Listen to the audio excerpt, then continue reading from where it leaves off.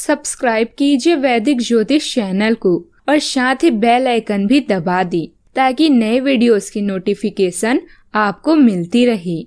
जय संतोषी माँ। दोस्तों, स्वागत है आपका वैदिक ज्योतिष में। जानते हैं आज क्या कहती है आपकी राशियाँ। कैसा रहेगा आपका दिन? शुरुआत करते हैं आज के सुविचार से।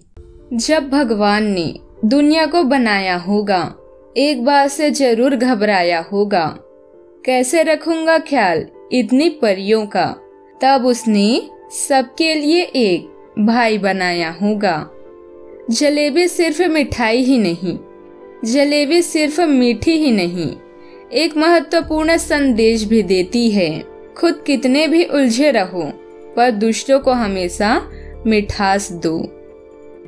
आज का पंचांग, तीन अगस्त 2020 दिन सोमवार। सावन मास के शुक्ल पक्ष की पूर्णिमा तिथि। रात्रि नौ बजकर अट्ठाईस मिनट तक रहेगी। इसके उपरांत प्रतिपदा तिथि प्रारंभ हो जाएगी। उत्तराषाढ़ा नामक नक्षत्र सुबह सात बजकर उन्नीस मिनट तक रहेगी। इसके उपरांत श्रवण नक्षत्र प्रारंभ हो जाएगी। आज का राहु काल, अर्थात अशुभ समय। सुबह सात बजकर तैतीस मिनट से नौ बजकर ग्यारह मिनट तक रहेगा। आज का भी जीत मुहूर्त, अर्थात शुभ समय। दोपहर बारह बजे से बारह बजकर चौवन मिनट तक रहेगा। आज चंद्रमा मकर राशि पर संचार करेगी और आज सूर्य कर्क राशि पर रहेंगे। आप सभी को रक्षाबंधन की ढेर सारी शुभकामनाएँ। राखी बांधने का शुभ मुहूर्त, जैसे कि हमने बताया है। आज राहु काल सुबह सात बजकर तैतीस मिनट से नौ बजकर ग्यारह मिनट तक रहेगी। इस समय के बाद आप राखी बाँध सकते हैं। और दोपहर दो बजे से शाम सात बजे के बीच लगातार चार लाभ और अमृत के तीन शुभ चौघड़िया मुहूर्त होंगे। इसलिए दोपहर दो से शाम सात बजे तक के बीच का पूरा समय राखी बांधने के लिए शुभ होगा। आप शुभ मुहूर्त में भी राखी बाँध सकते हैं। कन्या राशि, तीन अगस्त 2020 दिन सोमवार। राजनीतिक तथा सामाजिक क्षेत्र के जातकों को जनसंपर्क प्राप्त होगा, लेकिन कोई सहयोगी आपके खिलाफ षड्यंत्र रच सकता है। आपको व्यवसायिक सफलता के लिए अधिक मेहनत करनी पड़ेगी। राजकीय सेवाओं से जुड़े जातकों को अनुशासित और अधिक सावधान रहने की आवश्यकता है। छात्रों के लिए समय सफलता प्रदान करने वाला होगा। भूमि वाहन का सुख प्राप्त होने का योग है। पारिवारिक खर्चों में वृद्धि का योग है। दाम्पत्य जीवन में एक दूसरे को समझने का समय है। माता से मनमुटाव हो सकता है। मानसिक तनाव रहेगा। प्रेम संबंधों में कुछ मधुर क्षण प्राप्त होंगे। संगीत के रूप में कार्यरत जातकों को लाभ होगा। लेन देन में सावधानी बरतें। आर्थिक हानि की संभावना है, जोखिम भरे निवेश से बचकर रहें। व्यवसायिक संबंधित परेशानियाँ हल होगी, लेकिन तब तक आपको बोलने, लिखने और काम में भी आक्रामक नहीं होना है। निजी जीवन से संबंधित परेशानियाँ झेल रहे लोगों को अपनों के लिए समय निकालना चाहिए। आप लंबे समय से स्वास्थ्य की अपेक्षा कर रहे हैं, इस पर ध्यान दें। छोटे बच्चों के साथ उत्तम समय व्यतीत करेंगी।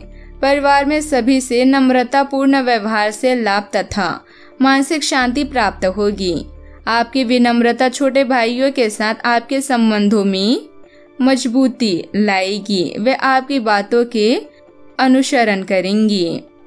सावधानियाँ इस राशि के जातकों को वाहन चलाते समय सावधान रहने की आवश्यकता है। वरना दुर्घटना हो सकती है। घर में अपने वाड़ी पर संयम रखें, वरना विवाद की स्थिति हो सकती है। जो खुशियों के वातावरण को हानि पहुँचा सकती है। लव लाइफ की बात करें तो सावधान रहे क्योंकि धोखाधड़ी और प्रवंचना तेज़ी से आपकी तरफ़ बढ़ रही है। हालाँकि यह बिना किसी खास उद्देश्य के और बहुत लघु है, परंतु फिर भी ये आपको चोट पहुँचा सकती है। आज अब देने की प्रतिक्रिया में रहेंगे। आज का दिन थोड़ा कठिन हो सकता है, लेकिन अंत में ये आपके प्यार को मजबूती प्रदान करेगा। भविष्य में आपको अपने प्यार पर खुशी मिलेगी, पर अभी बहुत ज़्यादा व्यक्त करने से बचें। करियर की बात करें तो अगर आपने व्यवसायिक साझेदारी को तोड़ने का फैसला कर लिया है तो आप एक विनम्र और यथार्थवादी तरीके से ऐसा करें। आपको इस युद्ध के अंत में बहुत प्रभावी ढंग से और आसानी से संवाद स्थापित करना होगा। और हो सके तो आपको ही पहल करनी होगी, ताकि बर्फ़ कुछ पिघले। आपका ध्यान हर किसी चीज़ पर बहुत अच्छी तरह से केंद्रित है, और आप अपने लाभ के लिए अच्छी तरह से इस क्षमता का इस्तेमाल कर सकते हैं। सेहत की बात करें तो आज पेट से, आज पेट में खराबी होने की काफ़ी आशंका बनी हुई है। आपको पीने का पानी और अन्य तरल पदार्थों के प्रति विशेष सावधानी रखनी होगी, क्योंकि पानी से उत्पन्न बीमारियों की आशंका बनी हुई है। आपको संक्रमण भी हो सकते हैं, इसीलिए आज बाहर के अस्वास्थ्यकर खाने से भी परहेज ही करें। आपको मुहासों की समस्या भी हो सकती है, परंतु वह समय से ध्यान देने के बाद ठीक हो जाएँगी। आज का उपाय, आज आप अपने बहनों को हरे रंग के कपड़े गिफ्ट करें और शिवलिंग पर पांचामृत अर्पित करें।